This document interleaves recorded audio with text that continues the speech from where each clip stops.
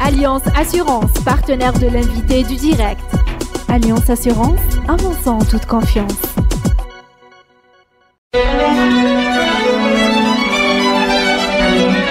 Pour bien s'entendre, il faut bien s'écouter. Rendez-vous sur M, la petite radio du Grand Maghreb.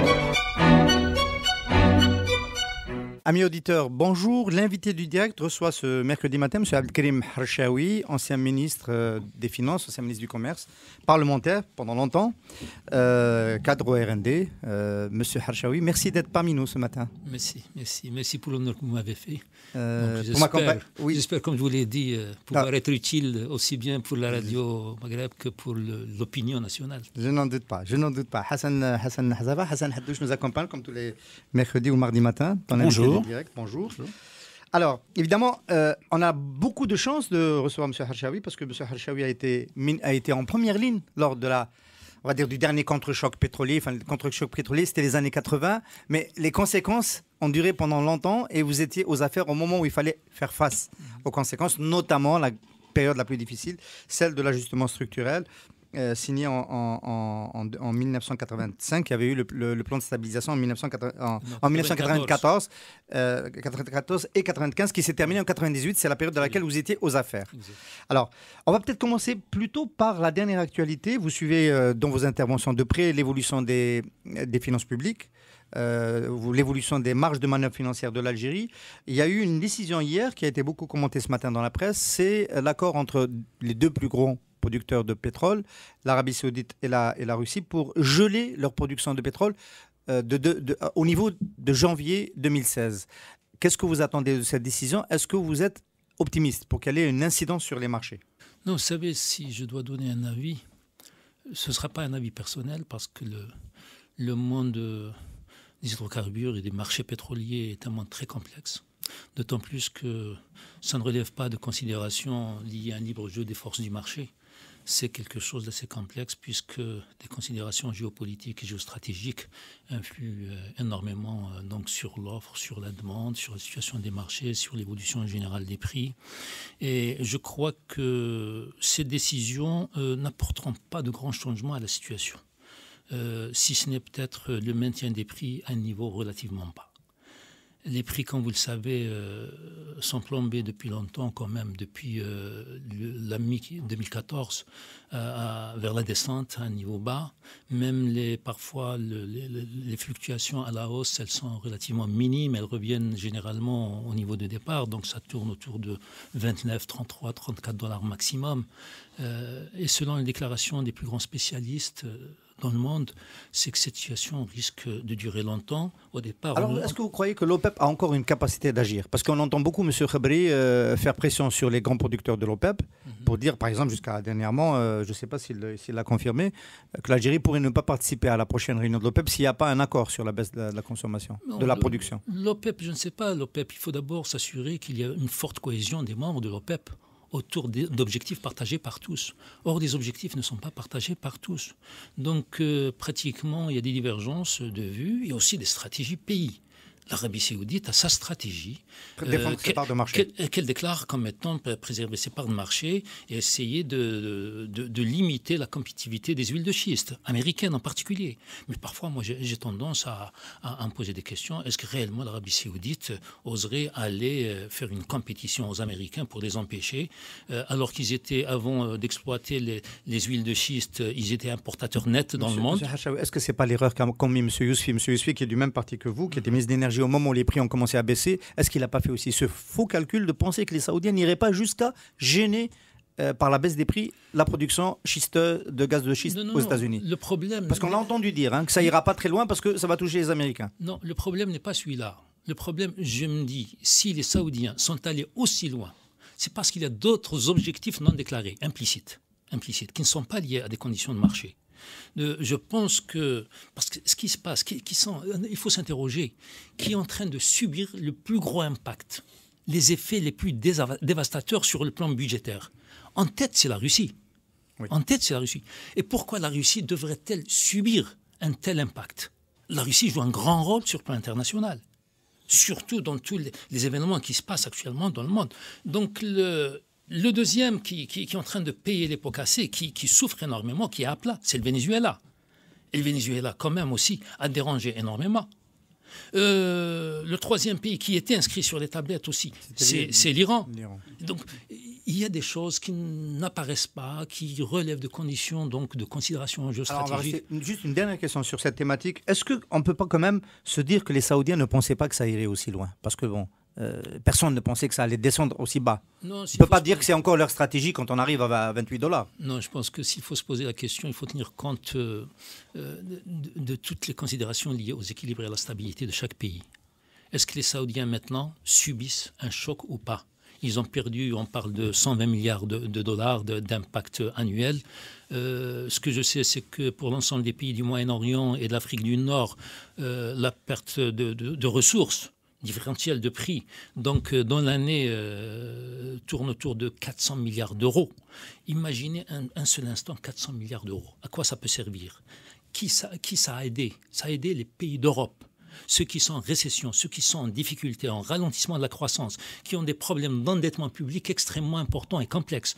Donc, euh, toute cette situation, je dirais, pétrolière, sur les marchés pétroliers produits de base, a des considérations euh, extrêmement complexe. Monsieur Hachawi, le gouvernement algérien était alerté sur une crise de la baisse des volumes qui allait arriver, notamment, notamment à travers le think tank Nebni, qui a beaucoup pointé cette, cette crise. Mhm.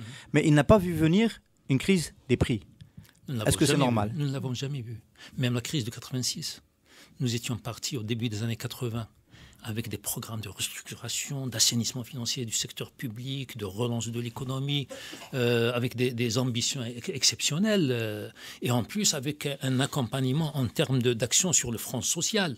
Euh, rappelez-vous du fameux slogan Pour une vie meilleure, nous avions inondé nos marchés de produits importés, de, de tout produit de consommation. Avec un taux de change très avantageux Exactement, avec un taux de change qui tournait autour de, de 4 dinars, 4 dinars 20 pour un dollar. Donc la situation, elle était ça. On n'avait jamais prévu cette crise, le choc de 86. Le choc de 86, c'était un choc, je dirais, pas très fort par rapport à celui de 98-99. Parce qu'en 86, le prix moyen de 85, de l'année 85, je me rappelle, tournait autour de 29-30 dollars le baril, le prix moyen annuel.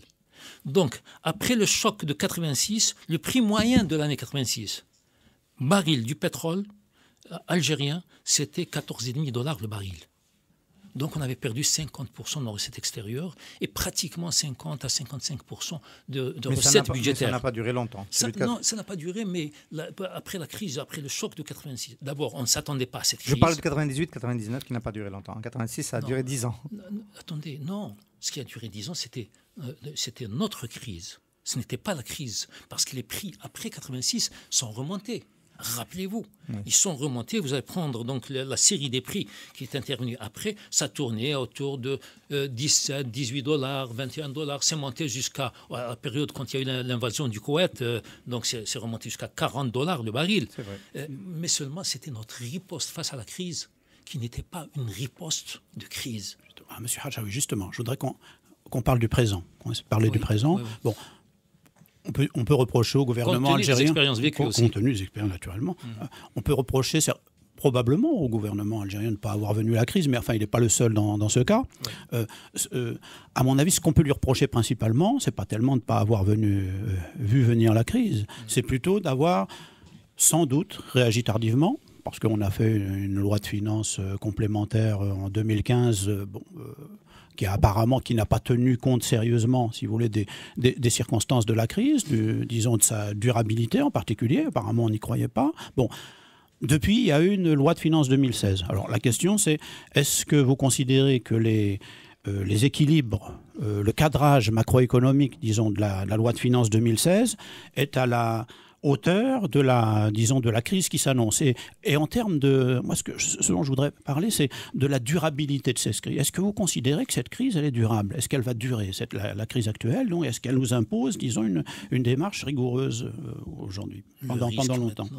Selon les éléments d'analyse disponibles, compte tenu de l'évolution de la croissance mondiale, particulièrement au niveau des pays qui contribuent à hauteur de 70% à la croissance mondiale, que sont la Chine, les pays émergents, euh, le Brésil, euh, certains pays euh, d'Afrique même qui contribuent. Qui On parle de la, croissance, de la consommation d'énergie. Hein. Voilà. Donc, d'ailleurs, les, les, analyses de l'AIE sont contradictoires maintenant. l'AIE prévoyait une, une, augmentation exponentielle de la demande énergétique dans le monde sous l'impulsion de la croissance mondiale. Et finalement, on est dans le phénomène inverse maintenant. La croissance baisse et, les prix sont en train de s'effondrer. L'AIE avait prévu euh, un, programme d'investissement euh, à l'horizon 2030. C'était une prévision faite, euh, si je me rappelle, en 2006-2007. C'était une prévision de 16 000 milliards de dollars d'investissement dans le monde pour essayer de faire des découvertes qui pourraient rattraper un petit peu l'évolution de la demande pour préserver la stabilité des prix. Et bien maintenant, on est loin du compte les prix sont en train de s'effondrer. Et, mais la situation actuelle, que nous vivons actuellement, elle a débuté à la fin de, l'année 2013. Depuis la fin de l'année 2013, il n'y a pas moins de 3 millions de barils jour qui étaient injectés dans le marché. Les stocks sont au plus haut niveau. Donc, baisse de la croissance mondiale. Les stocks au plus haut niveau, pas d'investissement, très peu d'investissement parce que le retour sur capital investi dans le secteur pétrolier euh, reste euh, très très incertain. Donc les gens ne sont pas sûrs de faire de bonnes découvertes. Les grandes compagnies limitent leurs investissements. Euh, Alors la question, c'est, partons de ce, de ce, de ce, diagnostic. la, question, la question très simple, c'est est-ce qu'une loi de finances comme celle de 2016, est-ce qu'elle n'a pas tendance plutôt à, réagir juste sur le court terme? Puisqu'il s'avère que là, on est rentré dans un cycle baissier de longue durée. La réaction à travers la loi de finances, je pense que c'est une réaction d'urgence une réaction urgente, euh, donc liée au secteur des hydrocarbures par donc, euh, euh, des mesures d'augmentation des prix des carburants, des, de, l'électricité et du gaz. C'était incontournable. C'était incontournable. Il y a eu la première mesure qui a été engagée avant au niveau de la Banque centrale la Banque centrale qui a engagé donc euh, une mesure, il y avait une appréciation des monnaies, des principales monnaies euro et dollars. Donc il y avait une dépréciation du dollar. on va dire que c'est la première. Mais qui a été accompagnée par une dévaluation. Alors je, voulais, voudrais profiter quand même de votre longue expérience de parlementaire qui, qui est venue euh, s'ajouter à votre expérience de, euh, dans l'exécutif. pourquoi, pourquoi, le, pourquoi les, élus de l'Assemblée nationale ont refusé à plusieurs reprises au gouvernement des, ajustements progressifs du, du, prix du carburant, alors qu'on sait que la subvention énergie est la plus, la plus importante? Au point, au point où, après le départ de, de, de M. Khalil, M. Aussi a cessé de proposer. Enfin, même M. Khalil a cessé de proposer. Le gouvernement a cessé de proposer. Ça, ça, fait très longtemps que les prix étaient gelés les prix euh, des produits énergétiques, de l'électricité et du gaz étaient gelés. Mais pourquoi euh, C'est quelle lecture? C'est une lecture politique? Personne ne peut donner une explication. Euh, on a considéré que les, produits énergétiques sont des, facteurs capables de soutenir l'investissement et la relance économique et le soutien de la croissance, parce que quand vous payez l'énergie à un prix pas cher, ça attire les flux de capitaux, ça attire les investissements directs étrangers, ça on peut, on peut le penser pour l'électricité. Ça nous rend plus compétitifs. On peut le penser pour l'électricité, ça a été utilisé d'ailleurs dans le cas des engrais ou pour attirer des investisseurs étrangers, mais dans, le cas des carburants, les jeunes qui circulent tout le temps avec. Euh, enfin, vous savez qu'à l'Assemblée, à un moment donné, on disait, les gens disaient, ils veulent pas parce qu'ils ont tous des voitures, euh, ils ont plusieurs voitures, etc. on disait ça des députés. ils veulent pas toucher au prix de. Mais c'était pas eux. Je ne pense pas que ce soit les députés. Les députés peuvent discuter, négocier avec le gouvernement un niveau ah, de, de hausse, mais l'initiative revient au gouvernement. L'initiative, c'est des augmentations de taxes je dirais que d'une façon générale, il faut reconnaître aussi aux députés, c'est des élus de la nation. Ils sont pris entre le, euh, le marteau et l'enclume. Les électeurs, ils sont porteurs d'un mandat électif. Les électeurs, donc, leur demandent des comptes. Pourquoi vous augmentez des prix? Pourquoi vous acceptez des taxes? Donc, il y a l'impopularité de l'augmentation des taxes et il y a aussi, euh, je dirais, l'impopularité de la réduction des dépenses publiques auxquelles les parlementaires font face. Et aussi, même le gouvernement tient compte de la nécessaire stabilisation de la vie économique et sociale. Donc, c'est des instruments, c'est des éléments, des fournitures euh, indispensables pour l'outil de production. Donc, on a pensé, on a cru, euh, je pense. on est arrivé au gaspillage, quand même. Vous êtes d'accord pour On est arrivé à un gaspillage parce que stabiliser les prix et les geler pendant une très longue période, surtout quand il s'agit de ressources non renouvelables, parce que là, écoutez, aujourd'hui, nous sommes confrontés à un problème. Vous avez parlé dès le départ d'une baisse de la production nationale, donc d'une baisse de la capacité de nos gisements ou de nos moyens de production. Euh, peut-on se passer demain d'une énergie? Est-ce qu'un Algérien, un être humain ou une activité quelconque peut se passer d'une énergie pour fonctionner, pour agir, pour travailler? Ce n'est pas possible. Aujourd'hui, depuis quelques années, la consommation nationale, la demande nationale augmente de, de 10 à 15 pour les carburants, pour l'électricité et le gaz. Écoutez, donc, ce qui fait que chaque année, chaque année, pratiquement, euh, c'est des quantités qui viennent en réduction des quantités exportables. Et si on continue comme ça, s'il n'y a pas de nouvelles découvertes, si on continue à ce rythme de consommation, il va arriver un moment où on sera amené peut-être à faire un douloureux choix entre alimenter nos stations d'essence, alimenter nos cuisinières à domicile, alimenter notre climatisation, ou bien exporter pour financer nos importations. Est-ce Et ce moment-là, vous le situez à quand?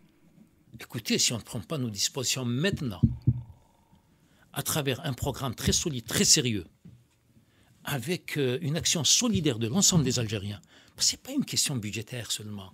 Ce n'est pas une question gouvernementale qui choisit des axes de développement.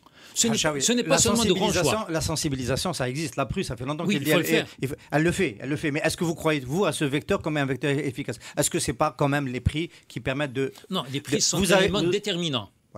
Les prix, le prix est un Aux élément années 90, il y a eu des augmentations du prix, ah prix qui étaient, qui étaient ah autrement plus importantes. Oui, oui, oui, oui, oui. Mais c'est un élément régulateur qu'on doit savoir utiliser. Maintenant, tout dépend des conditions socio-économiques du pays. Je vous l'ai dit, donc il y, a des considérations et des facteurs qui parfois vous empêchent euh, de toucher au niveau bon, des les gens prix. oui, moi, une question que je me pose, c'est vous, vous êtes un, bon connaisseur à la fois du, milieu, disons, des milieux gouvernementaux et aussi des milieux parlementaires. Le langage que vous tenez, il est clair, le, euh, disons. Vous, euh, est-ce que, est-ce que le, la conviction que vous exprimez, vous considérez aujourd'hui qu'elle est généralement partagée? Je ne parle pas de l'exécutif, il semble que ce soit clair. Je veux dire, M. Ben Khalfa a dit des choses relativement claires. Il il a dit que les, les, augmentations de 2016 ne sont qu'une première étape mmh. et qu'avec, ça allait se poursuivre dans les années à venir. Est-ce que, la question que je me pose, c'est est-ce que dans les années à venir, disons, cette, cette démarche d'ajustement des prix, elle va être soutenue, elle va être appuyée par les parlementaires ou est-ce qu'à votre connaissance, est-ce que dans, dans, la, dans, dans, ces milieux, disons, parlementaires, cette idée, les, l'idée les idées que vous venez d'exprimer de façon très claire, elles sont, elles sont partagées? Non, Vous savez, je crois qu'il y a des choix à faire. Des choix politiques d'abord, et des choix économiques et sociaux qui découleraient de choix et de convictions politiques. Donc, au niveau du pays, nous vivons des situations qui doivent nous amener à réfléchir pour trouver les meilleures voies, les meilleurs moyens de préserver notre stabilité à long terme, à tout point de vue. Stabilité politique, stabilité économique et sociale, et surtout stabilité financière à très long terme. Parce que sans stabilité financière, il n'y aura jamais de développement économique et social. Sans efficacité économique, il n'y aura jamais de progrès social. Il faut que les Algériens comprennent cela. Nous vivons sur une rente. Une rente depuis la nuit des temps jusqu'à quand? Je me rappelle tous les gouvernements qui se sont succédés dans la conduite des affaires du pays, tous ont inscrit en bonne position, en première position dans leur programme, la nécessité de mettre un terme à la vulnérabilité de l'économie nationale, en essayant de diversifier notre économie et en mettant en réduisant de façon substantielle la dépendance des exportations d'hydrocarbures. On, va faire un peu de théorie économique. On est dans le syndrome hollandais. Hein euh, Est-ce que finalement, c'est quand même pas le mécanisme des prix qui, qui, bloque la diversification? Non, le mécanisme des prix... Beaucoup de prix soutenus, euh, finalement, ça, ça, ne permet pas d'investir. Il y a pas, je, je prends l'exemple, on parlait du secteur, juste le secteur de la distribution de, des produits pétroliers.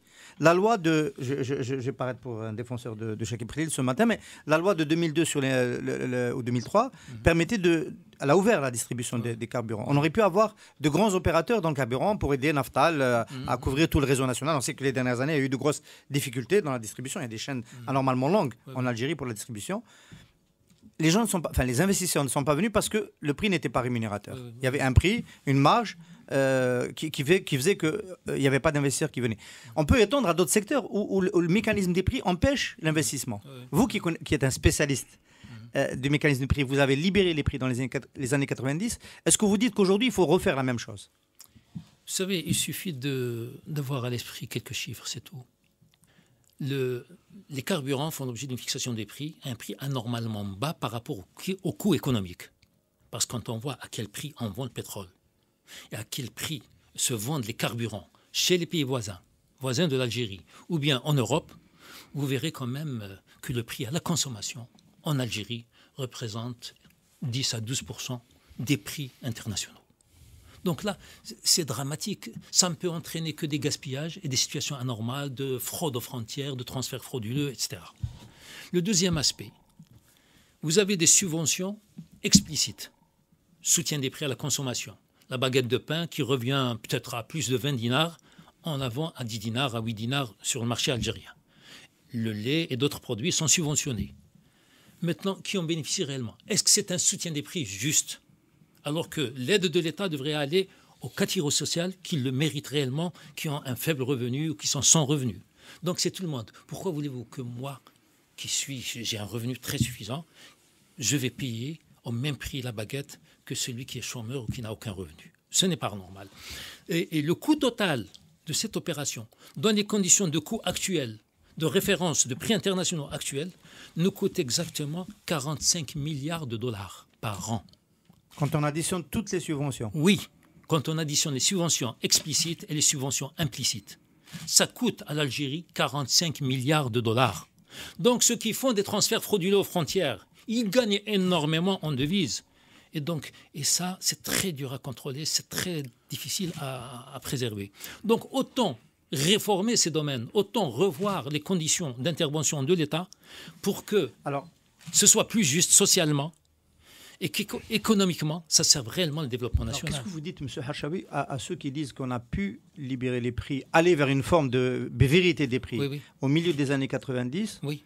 Parce qu'il y avait moi, je l'appelle la guerre civile, d'autres l'appellent autrement. On était dans une situation particulière qui faisait que. Difficile, difficile. Voilà, qui faisait très difficile, qui faisait que les Algériens ne pouvaient pas s'organiser pour résister sur le front social. Et donc, le gouvernement a pu faire passer ces mesures-là. Ah oui, vous dites qu'ils n'existaient pas sur le front social. Ils étaient très durs. Et attention, attention, je me rappelle, non, je me rappelle quand même parce qu'on avait amorcé un processus de démocratisation de la vie nationale et on avait donc libéré l'expression et l'Algérie a, basculé dans d'un système totalement centralisé, totalement fermé, euh, euh, de parti unique et tout on est allé vers euh, un multipartisme avec donc des libertés extraordinaires. D'ailleurs, même, je dirais même les chaînes publiques ouvraient leurs débats à, tous les courants. Donc, euh, il y avait des, je dirais des débats contradictoires et exceptionnels à l'époque, au début des années 90. Mais malheureusement. Alors, je pose la question différemment. Est-ce que c'est plus difficile aujourd'hui de faire cela que cela n'a été dans les années 90 Parce qu'on parce est d'accord pour dire qu'il faut, il faut continuer à aller dans cette direction. Je ne sais pas. Moi, je dis qu'il suffit d'expliquer, de convaincre. Il faut y aller. Il faut que tout le monde s'y mette. Maintenant, si les parlementaires ne sont pas convaincus que le soutien des prix implicite et explicite, c'est une catastrophe nationale, qui va expliquer ça à la population quand les élus locaux ne sont pas d'accord Quand on assiste à, la manifestation au sein de l'hémicycle contre les hausses de prix, contre les hausses fiscales, etc., à un moment, on amorcé une crise qui peut nous faire très mal elle n'a pas encore fait mal, cette crise, parce que nous avons des réserves, nous avons une stabilisation pour une durée déterminée. Mais au-delà d'une certaine limite, on peut aller basculer vers une situation euh, qui sera extrêmement plus complexe que maintenant, qui pourrait nous faire regretter. Euh, euh, vous trouvez que le gouvernement n'explique pas suffisamment bien? Non, le gouvernement explique, il y va. Mais maintenant, il y a un courant d'opposition qui ne vient pas avec des solutions, mais qui vient avec des critiques. Je ne suis pas contre l'opposition que l'opposition s'exprime, mais qu'elle s'exprime, mais euh, je dirais pas pour dénoncer seulement des mesures, parler un petit peu de cette crise et de la façon d'y faire face. Euh, je dirais faire de l'opposition en affichant des actions, des programmes, des solutions alors, très bien, très bien. Je veux dire, il faut vous rendre un hommage. Hein, sur, euh, moi, sur les dernières années, euh, euh, l'une des personnes qui s'est exprimée de la façon la plus claire sur ces questions-là, tu vas mettre mal à l'aise la qui a donné, de Monsieur, hein. Non, qui a donné des, en plus qui a donné des chiffres précis au cours des dernières années, à l'époque où vous étiez, disons, à la Commission des finances, l'Assemblée nationale, etc. Mm-hmm. Vous, avez été une des personnes qui a donné les chiffres les plus, mm-hmm. les plus clairs et qui a, réclamé le plus de transparence dans ce domaine-là, dans, dans, le domaine des subventions. Aujourd'hui, on est en plein dedans. Bon, encore une, Qu'est-ce qu'il faut faire aujourd'hui euh, Vous dites, bon, vous dites deux choses, vous tenez deux discours. Vous dites c'est insupportable, 45 millions, on n'arrivera pas à tenir, disons, ce niveau de subvention. Mais vous dites en même temps, il faudra, il va falloir, disons, sauvegarder les équilibres sociaux. Alors, concrètement, ça veut dire quoi? Ça veut dire le, prix de l'essence. Euh, le prix de l'essence, il y a des propositions relativement claires qui sont sur la table. Il y a des gens qui disent qu'en en 5 ans, il faut qu'on arrive au prix, euh, les gens de Nabni, euh, d'autres d'ailleurs, hein, ici, disons, qui nous ont dit, en 5, en ans, il faut qu'on arrive pour le prix de l'essence mhm. parce que ça coûte 6, 7, 8 milliards de dollars par, par, an, disons, au budget de l'État. Il faut que, enfin, pas au budget de l'État, parce que c'est des subventions implicites, disons, il faut qu'on y arrive en 5 ans. Vous, vous dites quoi? Il faut qu'on y arrive en 5 ans? Il faut qu'on qu'on y arrive en 10 ans. Comment il mm. faut faire, disons Non, c'est Hamadou. Je, je, sais qu'il y a urgence pour prendre en charge ces dossiers. C'est vrai que le dossier des subventions et des aides sociales est un dossier, euh, je dirais, assez lourd socialement, assez lourd financièrement, et qui est assez complexe, et qui a ses appréhensions, euh, je dirais, euh, sur le plan psychologique, au niveau des masses, au niveau des, citoyens, des consommateurs, des travailleurs, des gens à faible revenu. Et aussi, c'est un instrument idéal pour l'opposition sur le plan politique, qui est là pour déranger une majorité, pour l'empêcher, pour essayer de, de, de, de, rivaliser avec elle. Et c'est un élément déterminant dans l'action politique et, dans le débat. Donc euh, c'est un dossier qui doit être ouvert. On ne peut pas le négliger, on ne peut pas l'occulter, on peut pas le... C'est urgent. ceux, qui veulent, ceux qui veulent pas le, prendre en, en, charge, il y en a qui disent que c'est très difficile d'établir un filet social, d'avoir les bases de données des populations qui sont en dessous de ce, du seuil de pauvreté. Que, euh, voilà, on, laisse entendre, mais pourtant ça s'est déjà fait. Ça s'est déjà fait, oui. Si vous vous rappelez, c'était fin des années 91-92. Euh, on était dans une situation extrêmement complexe. Euh, on est, quand on avait essayé d'augmenter le prix du sucre de 20 centimes, le prix du sucre à l'époque, je me rappelle, était de 2 dinars. C'est vous qui l'avez fixé oui, oui. non, c'est l'État, c'est-à-dire c'était des décisions, mais les études de prix, nous les faisons. On faisait des propositions. C'était un produit subventionné. On voulait augmenter le prix de 20 centimes. Et euh, le, gouvernement avait annoncé ça. Moi, j'étais directeur général de la concurrence et des prix. Et devant l'Assemblée nationale, je me rappelle, c'était l'Assemblée générale, euh, à l'époque, c'était parti unique. Hein, mais difficile hein, d'aller faire passer quelque chose. Je me rappelle, le ministre de l'économie... Euh, avait informé l'Assemblée que au niveau des produits subventionnés, on sera obligé d'ajuster les prix. On disait ajuster, pas augmenter. Hein, parce que le terme augmenter euh, était un, terme révolu, euh, rejeté. Et pratiquement, euh, il y a une réaction au niveau de la commission budget et finances assez violente. Comment vous touchez au sucre? Vous n'avez pas le droit. C'est un produit subventionné, produit large consommation, etc., comme le, la semoule, comme le lait, comme... Non on avait fait la démonstration de toute façon, on ne vous consulte pas, il n'y a pas de taxe. Mais on va augmenter le prix pour réduire la subvention qu'on donnait à l'ENAPAL à l'époque, l'ex-ONACO. Oui. Et bien, au niveau de l'Assemblée nationale, les députés ont eu l'idée de fixer le prix dans le projet de loi de finances qui n'était pas encore adopté. Ils ont mis un article dans le rapport de la commission pour dire le prix de, est plafonné à 2 dinars, le prix du sucre, pour empêcher le gouvernement d'augmenter de 20 centimes. Alors, imaginez à ce stade-là, donc c'est des, des, mentalités, c'est psychologique, donc euh, il y, a beaucoup de choses. Alors, en, en 91-92, on avait lancé une étude, c'était sous ma responsabilité personnelle, sous ma direction, bien sûr sous contrôle du gouvernement. Et on a fait des rapports au gouvernement, on avait fait une étude et on avait fait la démonstration on avait utilisé même les caricatures euh, de comment il s'appelle? Donc on avait utilisé des caricatures dans la presse nationale, à travers la télévision, sur la fraude aux frontières, sur le gaspillage, sur le pain, la farine, la semoule qui devenaient des aliments du bétail.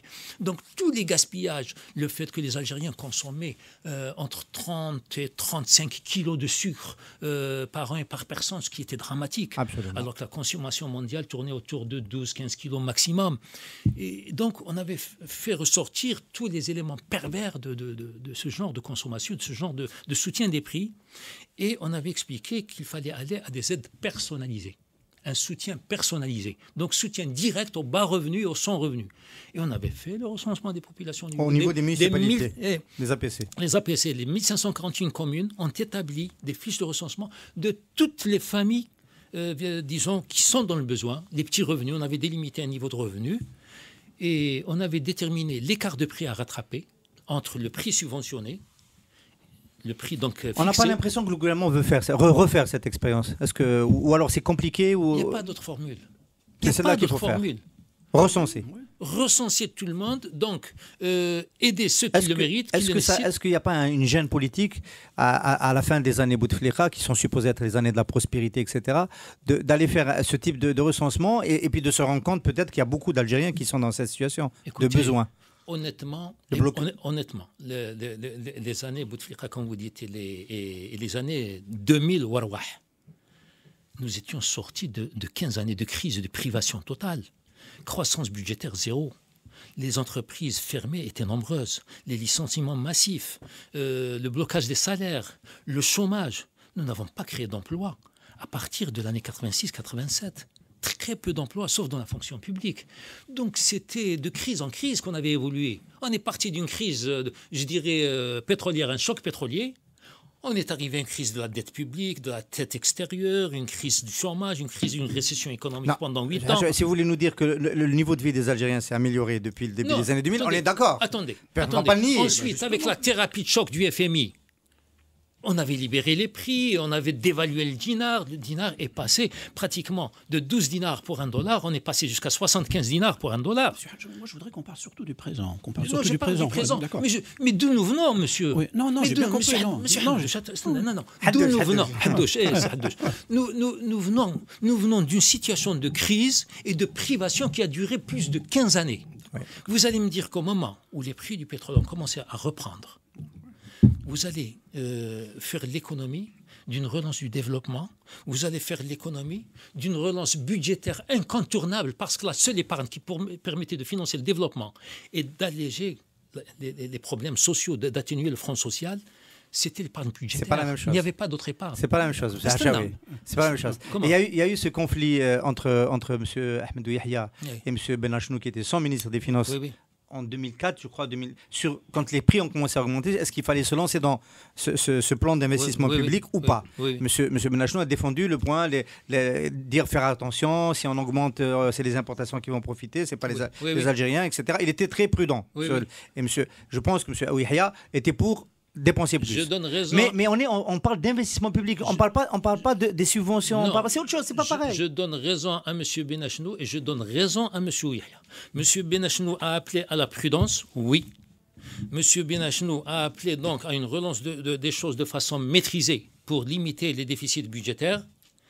M. Ouihia a tenu compte d'une réalité économique et sociale du pays parce qu'il a vécu les années 90, il sait ce qu'est devenu le tissu industriel et le tissu économique du pays, et il sait quels ont été les sacrifices sur le plan social. Donc il fallait détendre la situation. Imaginez un seul instant. Vous arrivez à partir de 2005-2006, quand la hausse était importante. Euh, euh, écoutez, quand les gens parlaient de la bahbouha al-maliya, moi je me suis insurgé contre ça. Je leur ai dit le terme c'est un terme les fainéants, les gens qui reçoivent un peu d'argent qui descend du ciel. Donc, des politiques ont tenu ce genre de langage, alors qu'il fallait investir cela, mais y aller sur le front social de façon modérée. À quel, moment, ça a dérapé quand même?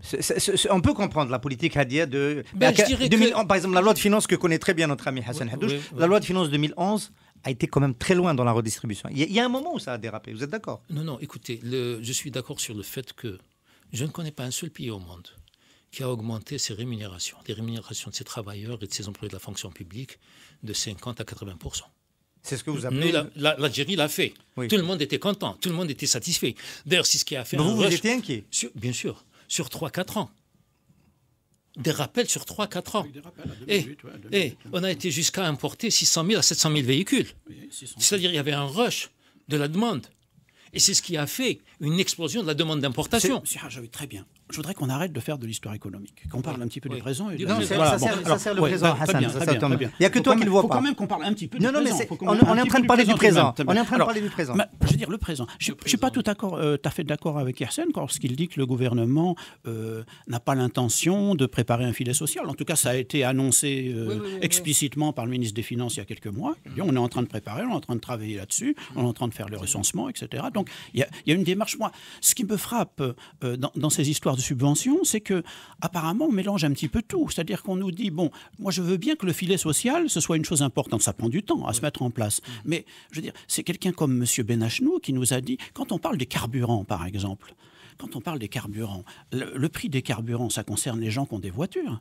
Bon, les gens qui ont des voitures, en principe, c'est pas les plus démunis. Il y a la moitié de la population algérienne qui a des voitures, il y a une autre mhm. moitié qui n'a pas de voiture. Bon, ben, quand on augmente le, prix des, carburants, mhm. normalement, on touche pas les plus démunis. Alors évidemment, il peut y avoir des répercussions sur euh, les transports collectifs, sur les, les transports. Mais les transports collectifs, je veux dire, les, les, bus de la RSTA, ils font pas la chaîne euh, dans, les, dans les mêmes stations d'essence que, que, que, nous. Je veux dire, d'ailleurs, ils ont une la RSTA a une convention avec Naftal, je sais même pas s'il a payé l'essence. Hein. Donc, euh, je veux dire, c'est, ça me paraît pas très très compliqué de mettre en place un système de, d'ajustement. quelles sont les priorités dans ce domaine? Moi, ce que je voudrais, c'est qu'on parle de ça. C'est-à-dire, on commence par quoi? On commence par quoi? Moi, je suis frappé par le fait qu'aujourd'hui, personne ne parle, personne, c'est un espèce d'épouvantail, personne ne parle. J'ai lu récemment un, un ouvrage de M. Benachnou qui nous dit qu'on peut récupérer 8% du PIB. C'est énorme, c'est considérable. 8% du, près de 8% hein, du, PIB au cours des, des 10 prochaines années, disons, en supprimant les subventions. Hein, pour ces 10 prochaines années, il ne parle à aucun moment de revoir la subvention du lait et du pain. Personne n'en parle. Nabni ne parle pas du lait et du pain. Je veux dire, euh, il n'est pas question, personne ne parle d'augmenter le prix du lait et du pain. Bah, il, y a, quand même vous avez raison de le dire, il y a une communication à faire là-dessus, parce qu'on agite des épouvantails en ce moment. On cherche à faire peur aux gens sur, des, sur, ces problèmes-là, alors qu'il y a des urgences, disons. Vous les avez soulignées, vous, les urgences, hein, les carburants, l'énergie, etc. Moi, je pense. Non, c'est vrai, c'est vrai. Non, il y a, je vous ai dit, euh, il y a un plan d'urgence à faire, tout de suite. Améliorer les ressources budgétaires, parce que le drame, la position financière extérieure, on peut tenir 4-5 ans. 4-5 ans, à condition bien sûr de maîtriser les importations aussi, ne pas les laisser évoluer euh, de façon exponentielle, d'accord? Mais sur le plan budgétaire, il y a des mesures urgentes, incontournables. Il faut absolument trouver des ressources. Et les ressources, je dirais que ce n'est pas le, crédit extérieur. C'est au niveau interne d'abord. Donc, et les ressources, c'est quoi? D'abord, l'aspect énergétique. L'aspect énergétique parce qu'il y a un double objectif. Avoir de meilleures ressources pour le budget je dirais, normaliser la consommation et agir sur la consommation pour préserver l'intérêt du pays, l'intérêt de la nation, à moyen terme au moins. Le temps de, faire d'autres découvertes, le temps de, développer une transition énergétique qui puisse donner ses résultats. Euh, il y a d'autres mesures qui peut-être permettront de, réaliser d'autres réductions de dépenses. Parce que, rappelez-vous la déclaration de, la DG du FMI, euh, elle a appelé les pays africains à reporter leur budget d'investissement pas plus, en termes de, de, maîtrise de la dépense et de trouver d'autres ressources. C'est pas la bonne voie. Eh, est-ce que c'est -ce c'est la bonne voie? Maintenant, on peut, mais à condition de faire des plans de relèvement des prix réguliers. Réguliers, parce que venir comme ça de but en blanc dire j'augmente les prix du carburant de 20 ou 30 dinars, ce n'est pas possible. Donc il faut des plans de prix réguliers. Tous les trois mois, vous augmentez les prix de 2 dinars. C'est une solution. mois Tous les trois mois, oui, pourquoi pas? Pourquoi pas, c'est une proposition originale. C'est incontournable, je vous dis. là, vous considérez que c'est le rythme des trois. Nous, on pensait à un rythme annuel. annuel C'est une idée que je lance comme ça. Il faut des plans de prix. Hier, la conférence faite par le directeur général de Sonelgaz, c'est Nordien Bouterfa. Il a fait un appel. Il, il appelle au secours aider Sonelgaz, dont les tarifs sont gelés depuis 2005. Avant, avec Sonelgaz, on faisait des plans de, relèvement des prix trimestriels ou parfois semestriels, de 2 à 4% avec une différenciation de la consommation domestique, la consommation industrielle et commerciale, qui était, dans les paliers d'augmentation des prix, était plus important. Donc, écoutez, 3 à, 3 à 5 d'augmentation euh, de l'électricité sur le plan domestique, régulièrement, régulier, périodiquement, disons tous les trois mois, tous les six mois, ça aurait pu permettre à son gaz de rattraper pas mal de choses. attendez, attendez. Ce que disait euh, Sibo euh, la dernière augmentation, c'est une augmentation de taxes. C'était la TVA qui a été appliquée à 17% au lieu de 7%. Donc, il y a C'est pas de l'argent qui va chez son, chez son Non, c'est de l'argent qui va aller chez le Trésor. Oui. Mais ça reviendra chez son Gaz parce que l'État ne peut pas se permettre de voir les investissements de son Sonelgas s'effondrer et ne pas être réalisés. C'est pas possible. Il faut doubler la, il faut doubler. On est, à 17, on, est à 17 gigawatts. Il faudrait être à 34 gigawatts. C'est on, était, on était, rappelez-vous, quand il y avait des coupures d'électricité dans certaines régions du pays, la population sortait dans la rue. Attention, alors il faut que la population comprenne que maintenant il y a une rationalité euh, à, observer dans la consommation nationale. Et aussi, il y a des choses qu'il faut accepter. Sinon, ce ne sera pas seulement des petites coupures. Ça peut être de long. rationnement. Maintenant, est-ce qu'un Algérien peut-il s'imaginer, en rentrant chez lui le soir à 20h, tenter d'allumer قال ما كانش لامبا تروح تشعل l'ordinateur ما عندكش l'ordinateur ما عندكش internet ça aussi, c'est d'explication. Alors, euh, contingentement, est-ce que vous le mettez dans le plan d'urgence Contingentement des importations Oui, oui. alors, vous, connaissez bien le commerce extérieur. Vous pensez qu'on peut, vis-à-vis de nos partenaires commerciaux, notamment européens, on peut soutenir durablement le contingentement? Oui, oui. Même le comportement de nos partenaires étrangers quant à la stabilité financière du pays, ils, ils l'aperçoivent, eux, en termes de solvabilité nationale, de la solvabilité de, l'Algérie vis-à-vis de l'extérieur. Donc, si nous continuons avec des, programmes actuels d'importation, qui sont imposés aussi par l'effort de développement, parce que quand vous voyez les statistiques d'importation, vous avez plus de 17 milliards de dollars d'équipement vous avez ensuite les biens destinés à l'outil industriel et aux activités économiques, fournitures, matières et pièces détachées. ce sont de bonnes importations. De bonnes importations. Mais il y a des importations superflues qui doivent coûter cher, des, des produits jetables, euh, des, des, des, fruits et légumes, euh, je dirais. Euh, qui n'ont pas de sens. Mais à ceux qui ont dit qu'il y avait quand même un risque avec le contingentement, la licence, le retour à des anciennes pratiques, c'est toujours délicat parce qu'il y a. Il suffit de bien gérer ça, c'est tout. Vous savez, je crois bien que la première ressource en Algérie, pour un État. Un État, sa crédibilité, sa force et sa puissance, c'est d'abord le recouvrement de ses ressources. C'est la lutte contre la fraude fiscale. C'est la lutte contre la corruption. C'est la lutte contre tous les abus qui privent l'État d'importantes ressources. Donc là, nous avons un travail important à faire aussi. Ça, c'est aussi une mesure d'urgence. L'administration, elle existe. Elle est partout, à travers le territoire national. Qu'est-ce qui empêche l'administration de faire... Il y a une tentative, peut-être qu'on va obtenir un commentaire de, de, votre part, M. Ouais. la tentative qu'a lancé le ministre actuel des Finances, d'essayer d'intégrer une partie de l'économie informelle avec cette mesure d'amnistie fiscale qui ne dit pas son nom, enfin de mise en conformité une amnistie fiscale. oui, il ne faut pas avoir honte de le dire, moi je mais le pourquoi, dis. Hein. Mais pourquoi ça, pourquoi ça, ah, visiblement, ça, ça, ce ne sont pas les montants qu'on espérait Sauf, euh, si Hassan, je vous le dis honnêtement, c'est une excellente mesure. Et j'ai dit récemment dans une conférence, je ne comprends pas les Algériens qui ont accumulé tant d'argent, beaucoup d'argent, qu'ils stockent chez eux à domicile ou dans des endroits que, que, j'ignore. Et, je dirais qu'ils sont en train d'alimenter la tension sur le marché parallèle de la devise. Euh, qui sont en train bah, d'afficher. Peut-être qu'ils ne l'accumulent pas justement cet argent. ils, le, transforment en euros et le placent à, l'étranger. Ils sont même en train d'afficher des signes extérieurs de richesse ici en Algérie. Façon de construire, façon de vivre, façon de faire sa fête, façon de marier son fils ou sa fille. Donc tout ça, c'est des éléments déterminants. Et je crois que tout ce beau monde qui reçoit une telle mesure, une telle proposition, qui est très pertinente.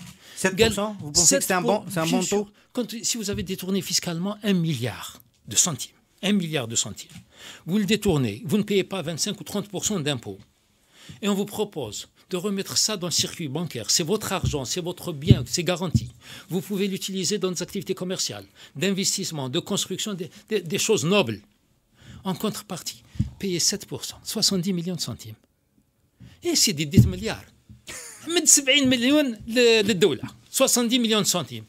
Et je dirais que les Algériens doivent comprendre maintenant que l'impôt, j'explique ça, c'est important. L'impôt, ce n'est pas une amende. c'est une contribution. تشري لهم الماتيريال سكولير باطل تعطيهم الكتاب باطل زيد دير لهم لي كونتين سكولير اترافير التيريتوار ناسيونال يا 15000 كونتين اترافير التيريتوار ناسيونال دير لك لا سونتي غراتويت دير لك لي بومبي لا تحرقت لك ليزين تاعك تجي تطفي لك النار دير لك تو تي غراتوي اون الجيري ليتا بروفيدونس اي لا او بروفيت تو الموند au moins contribuer un petit peu. Alors pourquoi ils ne le font pas? Est-ce que ce n'est pas un problème? Parce que moi j'ai posé la question à des, à des, à des commerçants informels. C'est un question de confiance. Il faut que je dépose mon argent, il va, me, il va me dire, il va, me sortir autre chose. L'État s'est engagé, le gouvernement s'est engagé, le Parlement s'est engagé, une disposition a été votée, elle s'applique. Beaucoup de pays ont fait ça. Oh, oh, toi-même, tu avais modéré une réunion euh, au niveau de, avec Keir, c'était excellent, magnifique sur l'inclusion l'inclusion de l'économie informelle. C'est le moment de la faire, mais il faut que les opérateurs jouent le jeu. Il faut que les commerçants jouent le jeu. Il faut qu'ils rentrent dans l'activité légale et normale et qu'ils acceptent de payer l'impôt. Maintenant, je suis d'accord avec vous sur un plan. On devrait ouvrir le dossier fiscal en termes de réforme, l'ouvrir pour faire une évaluation. On paie trop d'impôts en Algérie peut-être? Que coûterait aux commerçants le fait de payer ses impôts au taux actuel? Est-ce que ça le gêne? On va s'expliquer.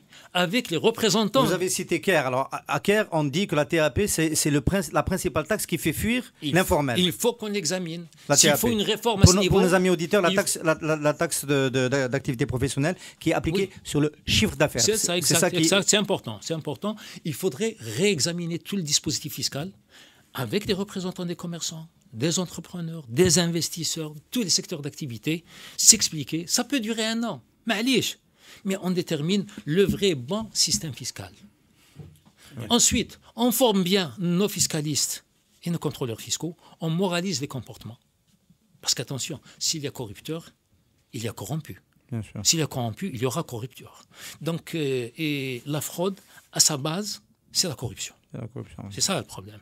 Donc, euh, Monsieur, euh, Monsieur moi je vais. Euh, Yassine va me reprocher peut-être de revenir un petit peu en arrière. Pas au carburant, hein, pas au carburant. non, non, pas au carburant. Non, non, mais on n'a pas. Non, oui, oui, je voudrais parler. non, non, mais non, en arrière dans notre entretien, dans, pas, pas, pas, pas, dans l'histoire, pas dans l'histoire de l'Algérie. Parce que moi je suis jeune, je suis d'une génération. Moi aussi je suis jeune. Hein, non, mais je suis plus jeune qu'Yassine parce que Yassine parle beaucoup du passé. toujours 20 ans. Oui, je sais, je m'en suis aperçu, je vous en félicite. Moi, non, je voudrais. Vous avez été ministre du Commerce, donc vous connaissez bien ce problème-là. Moi, je suis un petit peu inquiet par les, disons, les propos que vous tenez. Parce que bon, il y a quand même aujourd'hui une, démarche en matière commerciale qui semble être adoptée par le gouvernement, qui a été initiée par le gouvernement, qui est celle du, donc du contingentement. Hmm. On a, disons, défini un certain nombre de produits. En gros, on a pris euh, trois ou quatre produits, on a dit ces produits-là. Il faut aller plus loin et très rapidement. Ah, oui, mais alors, justement, est-ce qu'il faut aller beaucoup plus loin? Est-ce que est-ce que c'est pas risqué d'aller beaucoup plus loin? Parce que si on commence, je veux dire, bon, euh, vous avez vous vous avez parlé des, fruits et des légumes, vous avez parlé des bananes, etc. Est-ce que est-ce qu'on va faire beaucoup d'économies, euh, disons, en, bloquant l'importation? Voilà, non, d'accord, d'accord, non. Mais moi, je suis pas je suis pas contre le fait qu'on ait contingenté les voitures, voilà, les, les, voitures, le, le rond à béton, les ciments, etc. Bon, est-ce que c'est pas euh, bon D'abord, est-ce que c'est suffisant? Euh, est-ce que ça va nous rapporter beaucoup d'argent Mais est-ce qu'il faut aller beaucoup plus loin que ça? Est-ce que ce serait pas beaucoup plus Est-ce que ce serait pas dangereux d'aller beaucoup plus loin que ça? Parce que si on commence, je dis, à, contingenter, euh, à, créer des, autorisations administratives pour importer des bananes, etc. D'abord, est-ce que ça va nous rapporter beaucoup d'argent? oui. oui. il peut y avoir d'autres pratiques. Est-ce que, quels sont les risques qui sont associés à ça Oui, oui. Hum. Alors, euh, quelle est la démarche vous, que vous préconisez dans ce domaine-là? La démarche n'est pas de se limiter au contingentement. La démarche n'est pas d'aller trop loin dans le contingentement. On ne peut pas instaurer des quotas dans tous les domaines. Donc, il faut aller vers l'essentiel qui peut permettre une économie sérieuse et mettre de l'ordre dans l'acte d'importer. Moraliser les importations. Quand l'Algérie a libéralisé le commerce extérieur, elle a libéralisé son compte courant. Le dinar est devenu convertible. N'importe qui s'est engouffré dans l'acte d'importation. Et tout le monde a un registre de commerce import-export. Mais en réalité, il n'y a qu'un port. Et tout le monde est devenu importateur. On parle, j'ai lu des papiers de presse, déclarations de douane, etc., des pratiques frauduleuses, abjectes, les transferts, les majorations de factures, des importations de pierrailles dans des conteneurs déclarés comme étant des produits nobles. Donc, il y a des choses. Donc, c'est à ce niveau qu'on doit agir à travers une rationalisation du monde des affaires dans le commerce extérieur n'importe pas n'importe qui. Donc euh, il faut revenir à cela pour fixer de nouveaux paramètres dans, disons, l'action dans le commerce extérieur. Soit bon, les actes de production, oui. Ceux qui doivent importer leurs matières premières, leurs fournitures, leurs équipements, OK. L'investisseur, OK. Mais le commerçant qui importe pour la revente en l'état, il faut qu'il ait une dimension il faut qu'il ait une capacité, il faut qu'il ait une crédibilité, il faut qu'il ait un capital suffisant, il, faut qu'il ait un volume d'affaires, il faut qu'il ait des infrastructures de distribution, des réseaux de distribution. C'est toute une organisation. On peut la codifier, on peut imposer des normes pour être importateur. Il ne s'agit pas de donner aux copains, mais il s'agit de normaliser. Il va emprunter un registre commerce, il va louer un registre commerce. Qu'est-ce qu'on fait sur le plan juridique pour limiter ça? Là, il faut des actions répressives très sérieuses. Euh, on s'amuse avec des registres de commerce de, personnes décédées. On importe du n'importe quoi. Donc les, transferts font très mal. Il y a de la marge encore. Il y a de la marge. Pour, on va dire, serrer un petit peu. Ceci pour vous dire que le, train des réformes ne doit pas s'arrêter. Le train des réformes doit se poursuivre. Monsieur, monsieur Hachawi, vous, vous, vous, vous m'offrez une, une voilà, une perche pour, euh, pour arriver sur la conclusion. Vous m'aviez dit au début, hein, quand je vous ai proposé cette feuille de route, que ça risquait d'être long, qu'on n'arrivait pas à tout développer. On y est. Malheureusement, on est arrivé quasiment à la fin de, de, de, cet entretien. Je voudrais quand même vous projeter un peu sur l'avenir. On a parlé des mesures d'urgence, on a parlé de ce qu'il fallait faire pour éteindre, pour limiter la, la, casse en faisant toutes les comparaisons. On a beaucoup appris. Et en tout cas, merci de, de la franchise et de, de vos propos. Mais il y a toujours cette lecture critique d'une partie de l'opposition, des think tanks qui disent le gouvernement sait ça, il sait le faire en gros. Mm. Fermer, réduire, euh, lâcher le dinar, on n'a pas eu le temps d'en parler, mais c'est la première mesure qui a été prise. Euh, voilà, c'est la mesure d'ajustement. La première, c'était la monnaie. La plus efficace. La, plus efficace, on n'en a pas parlé. et, donc, euh, par contre, il faut faire des choses sur le long terme, améliorer le climat des affaires, devenir attractif, se diversifier. Oui, à côté du plan d'urgence. À côté du plan d'urgence, on est d'accord, on est d'accord. Alors, sur ce propos, sur ce propos-là, vous, vous dites, vous avez, vous avez, vous avez une lecture un peu différente de moi, enfin, de ce que je sais de vous. Vous dites qu'il faut faire plus confiance au privé algérien, qu'il faut ouvrir plus de secteurs d'activité au privé algérien, qu'on a eu peut-être tendance un peu à, être euh, excessivement prudentiel. Oui, oui. Je suis euh, pour une privatisation maîtrisée, par exemple. Euh, je suis contre des entreprises qui restent éternellement déficitaires et qui, au lieu de créer de la richesse, d'alimenter le trésor et, la nation, sont en train de consommer la rente pétrolière, puisque périodiquement on revient pour refinancer des entreprises publiques, les recapitaliser, relancer leurs activités, financer leurs investissements. C'est dramatique pour un pays. La seule richesse qu'on a, au lieu de construire, de faire du développement pour que d'autres viennent créer de la richesse. Euh, monsieur Hachawi, on arrive à la fin de cet entretien. Euh, monsieur Abdelrahman Khelfa a dit un peu, à peu près la même chose quand il était sur notre plateau avant de devenir ministre des Finances. Peut-être que vous allez devenir, redevenir ministre des Finances, c'est tout le mal qu'on vous souhaite. Est-ce que vous allez faire ce le faire. Il y a beaucoup d'Algériens. Non, je recommanderai, je recommanderai, j'insisterai toujours sur, ces axes de travail parce qu'ils sont incontournables aujourd'hui. OK, sauf. Mais il y a des conditions de privatisation. On ne vend pas comme ça des entreprises publiques.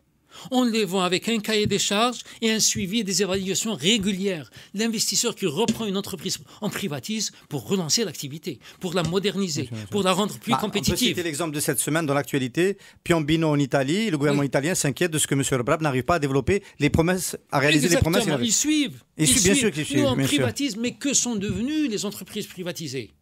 Il fallait privatiser, d'accord. C'est des Algériens ou des, étrangers qui ont acheté. D'accord, Mais que sont devenues ces entreprises? Que sont devenues ces unités? Qu'est devenue cette production? On attendait une valeur ajoutée et un soutien de la croissance nationale. On ne l'a pas eu. On vit toujours sur une croissance boostée par le budget de l'État. Ce n'est pas normal, il faut qu'on sorte. Alors, maintenant, en termes de réforme, moi, ce que je dis, selon mes convictions, nous avons besoin en Algérie d'avoir une autorité qui doit être chargée des réformes, une véritable autorité, qui doit déterminer des plans d'action à moyen et long terme, d'ajustement structurel, de, de réforme des politiques macroéconomiques, de réforme des politiques publiques, médecine gratuite. Il faut réfléchir. Doit-on rester sur ça ou, repenser cela pour être plus efficace et avoir une meilleure qualité des soins?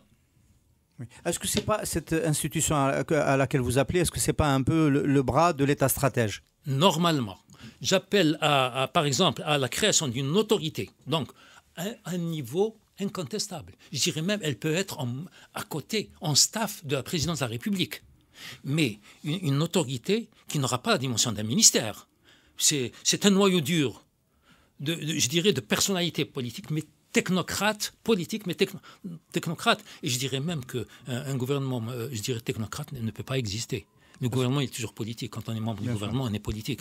Donc, euh, une autorité capable de penser avec les ministères, avec les cadres des ministères, de penser les réformes, de les déterminer, déterminer les grands choix, déterminer les, les étapes d'application, les mécanismes de mise en œuvre opérationnelle des choses et faire des évaluations trimestrielles. Nous l'avons vécu. Monsieur Monsieur Ahmed Yahya est quand même resté votre ami. Il C'est lui qui, a, qui était au cœur de la rédaction de la Constitution. Est-ce pourquoi vous lui avez pas glissé cette proposition? Il y a tellement d'institutions qui ont été constitutionnalisées. on aurait pu ajouter celle-là. Non, mais celle-là, elle peut être créée. C'est une, je dirais, c'est une simple création d'une structure qui peut être sous l'autorité de la présidente de la République, mais qui sera, je dirais, en marge, qui sera aux côtés du chef du gouvernement en termes de centre de réflexion, de pensée. Mais le gouvernement doit assumer la responsabilité. Monsieur, monsieur cela l'a constitué une task force. Qu'est-ce que vous en pensez Je, je n'en sais rien pour le moment. C'est-à-dire, il faut qu'on voit. Moi, tant que je n'ai pas vu, je ne peux pas donner un avis. Inch'Allah, Inch'Allah, il y a des équipes qui travaillent sur des réformes qui sont en train de peut-être d'évoluer de, positivement pour donner lieu à des schémas, des perspectives et à des conditions d'application qui seront définies. Elle est belle que le programme du FMI était à 94 à 98. Vous savez que nous avons eu un programme avec des matrices. Euh, euh, euh, donc la mesure, la nature de la mesure, elle est définie globalement action opérationnelle, échéance, responsabilité en termes de structure, ministère, euh, institution, etc. Ça, c'est fait globalement. Ensuite, chaque matrice est décomposée sur le plan annuel et pluriannuel, avec des étapes. Trimestriellement, on recevait le staff du FMI qui s'occupait du pays. De l'évaluation. Pour l'évaluation opérationnelle. Il venait ici en Algérie, ministère des Finances, ministère, euh, Banque centrale et reste des, ministères. Ils analysent la situation jusqu'au bout, depuis les comptes du Trésor. Budget. on, va terminer, on, va terminer, avec une note positive. On peut, on peut refaire tout cela sans, sans avoir besoin du FMI. Sans le FMI. On peut, encore. Sauf en, mai 98, quand euh, certains Algériens insistaient pour renouveler l'accord avec le FMI euh, ce qu'il qualifie au moins de shadow programme, sans financement. Mais on devait faire un programme défini par le FMI pour continuer les réformes. J'ai refusé cela. Si Ahmed qui était chef du gouvernement, avait refusé cela. Et nous avons pu convaincre les responsables qui étaient pour le shadow programme, pensant qu'on allait abandonner les réformes. On avait poursuivi les réformes. C'est pour ça que je vous ai dit, Hassan. On avait vécu la l'effondrement, le choc pétrolier de 98-99. Achena avec un baril à moins de 8 dollars de baril. Moins de 8 dollars. Avec un budget, on faisait un budget de recul chaque semaine. On allait réduire le budget d'équipement de 30%. Heureusement que les prix avaient repris à partir du deuxième semestre 99. Mais on avait fait les choses par conviction. Du deuxième semestre 99, on était rentré dans l'ère de la baraka de M. Bouteflika. Voilà. Monsieur, monsieur Al-Karim Harshawi, merci beaucoup d'avoir été l'invité du direct. Merci beaucoup.